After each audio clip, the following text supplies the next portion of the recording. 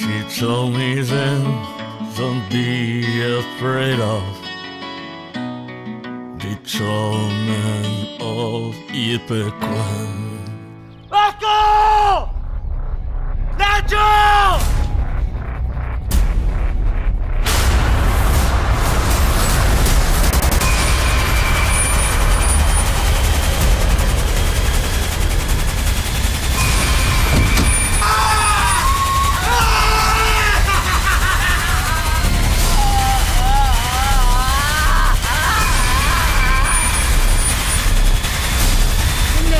¿Dónde mierda están?